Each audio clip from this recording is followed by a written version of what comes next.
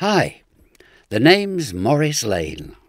You've probably never heard of me, but if you have an interest in musical theatre, you may have seen me perform because I've performed in 22 West End shows, including both Funny Girls, that's the original one with Barbra Streisand at the Prince of Wales, and the Chocolate Factory one with Sheridan Smith, which later transferred to the Savoy Theatre. Also, there was Fiddler on the Roof at Her Majesty's, Billy with Michael Crawford and then Roy Castle, four years in 42nd Street at Drury Lane with Georgia Brown, James Laurenson, and later Shani Wallis, Frankie Vaughan, oh, and not forgetting Catherine Zeta Jones.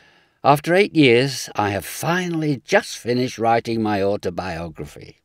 It's called Down Memory Lane. Clever, eh? Memory Lane, Maurice Lane? Nah, forget it. Anyway, if I may, I'd like to read you a quote from the lovely Wendy Craig after she'd read it. She said, Maurice is a man of many talents. His story is fascinating, amusing, full of warmth and affection, like the man himself. It is also a history of theatre and television during his working life, and reading it filled me with nostalgia for those years between World War II and COVID 19. At the age of nine, I performed in Variety with my father, Sandy Lane. When I was 14, I left him to go to London and study at the Corona Academy Musical Theatre School.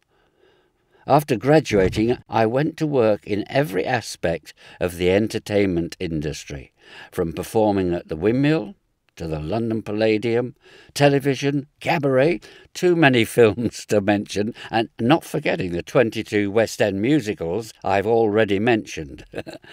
I also had my dream come true when I was asked to direct the musical Seven Brides for Seven Brothers for a national tour.